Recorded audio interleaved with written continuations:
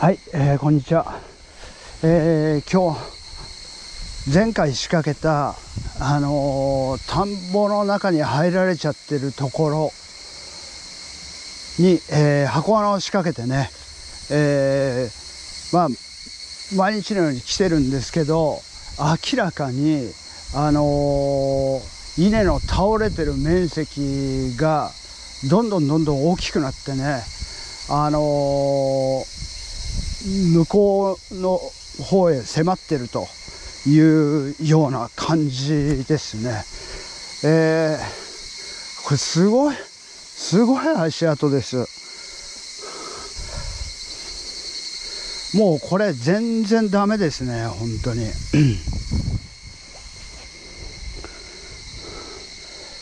で、まあ、やっぱりね、こちら側に、えー本物のね、あのー食料が、これ毎日のように出来上がってね、すくすくと出来上がってるところへ、隣にね、あのーこのお米のカスのぬかをね、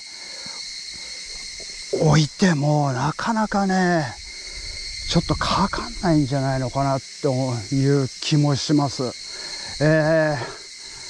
あのーこれだけのね、こんなに倒れてなかったんです。前回の動画の時はね。だけど、もう、どーっと倒れてるところが余計なんで、えー今からね、あの、これ少しぬかを巻いてから、えードローンをね、飛ばしてみようかなと思います。それで、あのどこら辺の面積まで行ってるのかね、ちょっと見てみたいと思います。もう多分これダメですね。えー箱穴の方はというと全然、あの、外のぬかも食べてない状態ですね。えー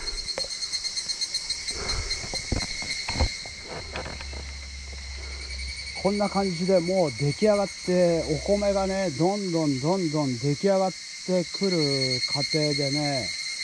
あのこれでは、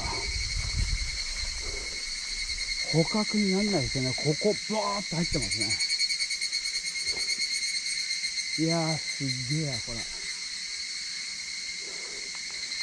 えー、箱穴の、箱穴の方はというと、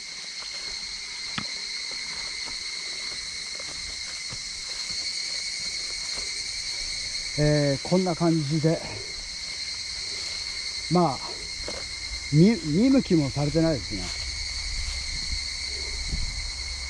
箱穴の方は。いやー、これ、参ったな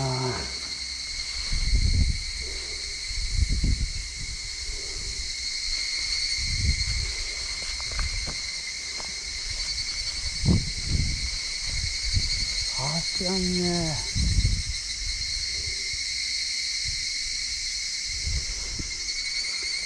食料が奪ってる田んぼの隣ではね、難しいかもしれないですね。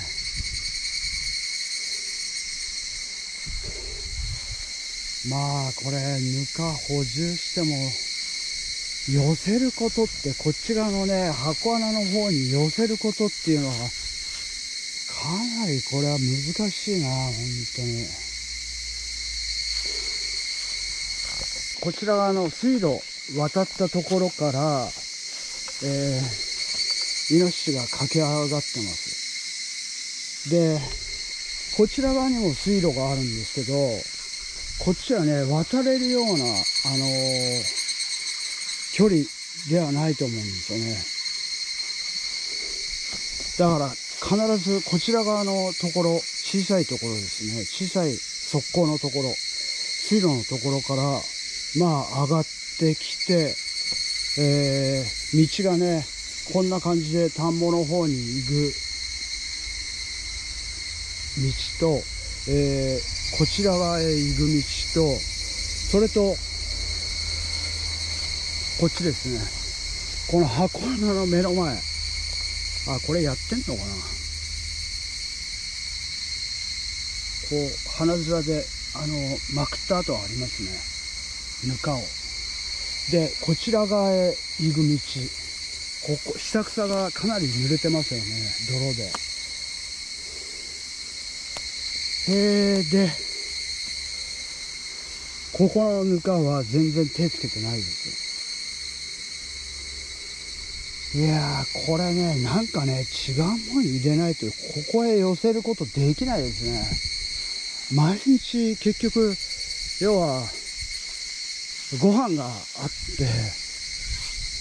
涼しくてねあの田んぼの中で多少水水分あるんでね涼しくてこっちに入ってた方が居心地がいいと思います、えー、今ねあの多少もう少しぬかを詰めてドローン飛ばしますねはい、えー、ここからね、あのドローンに音声かぶせて、えー、入れていきます。あの光の加減でね、ちょっと今、前半部分の方は分かりづらいんですけど、ここのところ数日間で、